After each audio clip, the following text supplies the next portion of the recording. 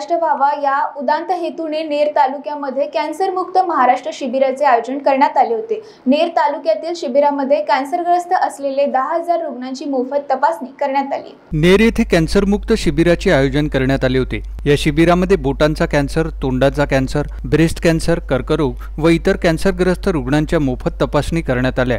या रुग्णांच्या तपासण्या डॉक्टर लता राघव यांनी कार्यक्रमाचे उद्घाटन जैन प्रकोष्ठच्या शोभा कोठारी व श्री संजय देशमुख यांनी केले. या कार्यक्रमाचे अध्यक्षस्थान महाराष्ट्र राज्य क्रीडा मंत्री संजय देशमुख होते. तर प्रमुख पाहुणे म्हणून डॉक्टर लता राघव स्नेहल भाकरे संकेत ठाकरे यावेळेस मंचावर उपस्थित होते.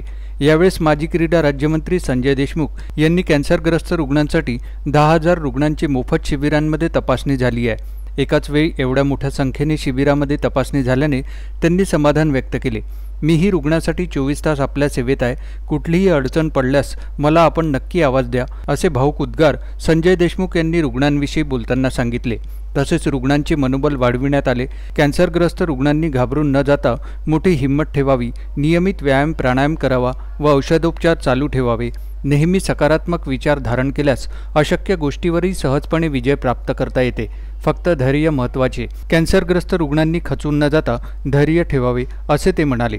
या कार्यक्रमाचे अध्यक्ष संजय देशमुख यांचे स्वागत शोभाताई कोठारी यांनी शॉल व श्रीफळ देऊन केले व या कार्यक्रमाच्या आयोजनासाठी रश्मिताई गुगलिया श्रद्धाताई सोईतकर डॉक्टर सुनंदा जैन विनाभाई कोडवे मोनिका गुगलिया नेहा गुगलिया आर्थी कोठारी विजय गुगलिया व वर्षा छल्लानी यांनी या शिबिराचे आयोजन करून कॅन्सरमुक्त महाराष्ट्र व्हावा यासाठी अथक प्रयत्न करून आगळावेगळा संदेश देण्याचा प्रयत्न केला. व्ही के बी न्यूजसाठी यवतमाळ येथून अजित महिंद्रे यांची report. Love you Deepika! Bye सब जानना चाहते हैं। मेरा फेवरेट कलर मेरा फेवरेट डेस्टिनेशन मेरी फेवरेट डिश पर कोई ये नहीं पूछता कि फेवरेट डिश मैं बनाती कैसे हूँ। अरे यार जिसे टेस्टी खाना पसंद है वो अच्छे टेस्ट तक पहुँच ही जाता है।